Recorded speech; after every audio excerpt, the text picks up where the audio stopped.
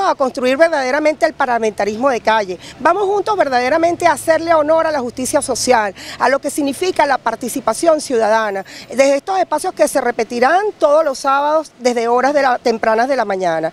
Aquí aprovechamos este importante espacio también para debatir sobre lo que es el tema de la descentralización, la institucionalización y debatir sobre todo qué está ocurriendo en el país, las realidades del país.